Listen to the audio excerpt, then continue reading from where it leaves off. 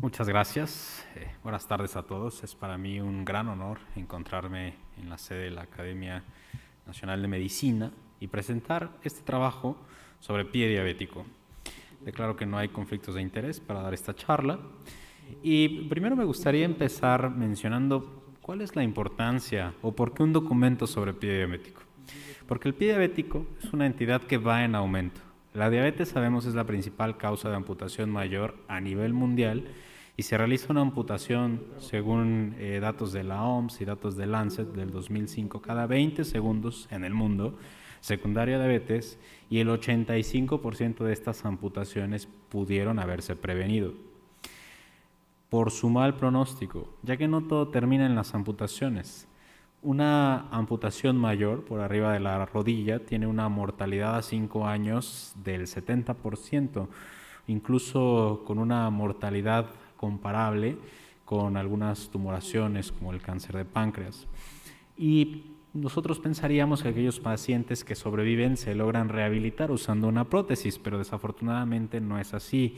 Solamente uno de cada diez personas con miembros amputados se rehabilita.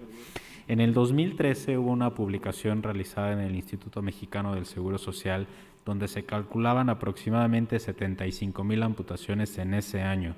Si nosotros tuviéramos la estadística de rehabilitación, diríamos que aproximadamente 2.250 personas supieron utilizar su prótesis, otras 2.600 aproximadamente habrán tenido una prótesis que no supieron utilizar y probablemente más de 70.000 amputados al año están pasando al universo de personas discapacitadas secundario a pie diabético. Además, tratar el pie diabético es costoso. Eh, el costo de atender el pie diabético excede al de tratar complicaciones cardiovasculares de la diabetes mellitus, como puede ser el infarto o la cetoacidosis. Y la hospitalización también es más prolongada comparada con estas entidades, incluyendo el evento vascular cerebral. Entre más grave es el pie diabético, más costos genera a los servicios de salud. Y sus características o las características de los pacientes que presentan un cuadro de pie diabético también ha cambiado. En series de los 80, el 13% de los pacientes se detectaba algún grado de enfermedad arterial periférico. En, series actuales, más del 50% de los pacientes que presentan pie diabético además tienen una condicionante de enfermedad arterial periférica, lo cual todavía hace más sombrío su pronóstico y porque desafortunadamente no lo estamos detectando en etapas iniciales. En estudios que hemos realizado en el año 2019, identificamos que prácticamente el 60% de los pacientes están llegando en el estadio más avanzado, en el cual tienen más posibilidades de presentar una amputación mayor. Si esto se tratara de cáncer, definitivamente se prenderían las alarmas para tratar de hacer métodos de tamizaje y de referencia oportuna y porque además podríamos mejorar la atención de las personas que viven con, diabetes. Encuestas como en Sanud mencionan que menos del 21% de los pacientes diabéticos eh, reciben una exploración en los pies y sabemos que eh, un 4 de cada 10 médicos no contemplan que el paciente con diabetes pueda tener además enfermedad arterial periférica.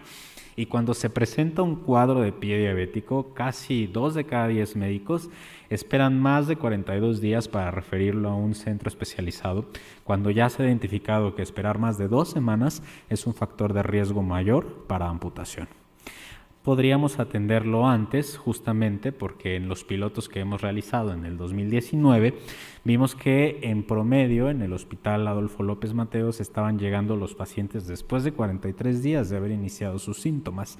Entonces, dado todos estos eh, temas y algunos otros que se debaten en la obra, es que vale la pena una publicación o un libro, un compendio sobre pie diabético. Este se empezó a vislumbrar desde el año 2017, cuando empezamos a identificar el problema ya en la práctica clínica. Eh, posteriormente, en el 2018, el grupo de cirugía vascular del Instituto Nacional de Nutrición hizo una publicación sobre el impacto que tiene la revascularización y los factores asociados en el salvamento de extremidades en pacientes con pie diabético, concluyendo que aquellos pacientes en estadios más avanzados requerían una gran cantidad de recursos riesgosos y aún así el 50% de ellos podría terminar en una amputación mayor. por esto, en 2019 se hizo el consenso con la misma metodología que se realizó en el de accesos vasculares y en el 2020 se vio publicada esta obra. Eh, eh, mencionar que se contemplaron aquí eh, diferentes integrantes del sector salud a nivel nacional, tanto de la Secretaría de Salud, la Academia Nacional de Medicina, por supuesto, el ISTE, el IMSS, SEDENA, CEMAR, sociedades y consejos médicos, así como hospitales también del sector privado. Todo esto con la intención de tener un enfoque mucho más global de cómo se atiende el pie diabético en cada uno de estos sectores. Se utilizó la misma metodología, una búsqueda o una etapa cero, en la cual se hizo la búsqueda científica para poder realizar y redactar algunas propuestas, la calificación de estas y en el paso 2 el consenso. Em, este dio pie a 126 iniciativas que a su vez fueron agrupadas en cuatro foros, ya que eh, dentro de estas iniciativas había algunas que iban enfocadas a la buena práctica clínica o recomendaciones que se podían seguir por parte de los médicos, pero había algunas otras que eran de carácter organizativo y entonces eh, se organizaron de la siguiente manera. En el grupo 1, intervenciones sobre los profesionales. En el 1A eran guías de práctica clínica, recomendaciones en la consulta, exploración de los pies, palpación de pulsos, etc. En el 1B, intervenciones académicas, también iban enfocadas en este mismo tenor. Posteriormente, intervenciones económicas. Sabemos que eh, también generar lazos para producir recursos al tratamiento y la investigación de las patologías es de suma importancia. En el grupo 3, intervenciones organizativas, en las cuales no se tendrían que destinar recursos, sino simplemente organizar a los actores del sector o del servicio de salud para que éste se pudiera optimizar. Un ejemplo de esto es la formación de grupos multidisciplinarios en los cuales los hospitales muy probablemente ya cuenten con un médico internista, un médico infectólogo, un endocrinólogo, pero todos eh, trabajando de forma diferente, agruparlos en, una, en un equipo multidisciplinario donde se cumplan cuatro rubros principalmente, que es el cuidado de la herida, el, el tratamiento, detección de enfermedades vasculares, el tratamiento y detección de infecciones, así como el control metabólico. Y finalmente las intervenciones regulatorias, en las cuales se sabía que tenía que haber algún cambio en la legislación o en la operatividad tanto de los hospitales como incluso a nivel nacional, ya que en el momento en el que se, redactó y se realizó todo este ejercicio, el pie diabético pues carecía de una figura jurídica. Em, de aquí se desprende esta obra, la cual consta o fue realizada por 18 autores principales, 28 coautores, consta de 24 capítulos, eh, reúne un total de 357 páginas y en ella se plasman 126 propuestas.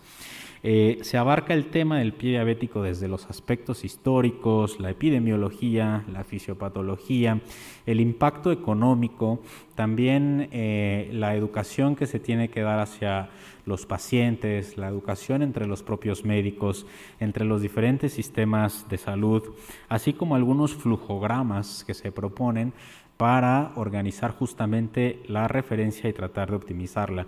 Obviamente, como fue realizado o parte del núcleo de cirujanos vasculares, pues con recomendaciones enfocadas al tratamiento de la enfermedad arterial periférica.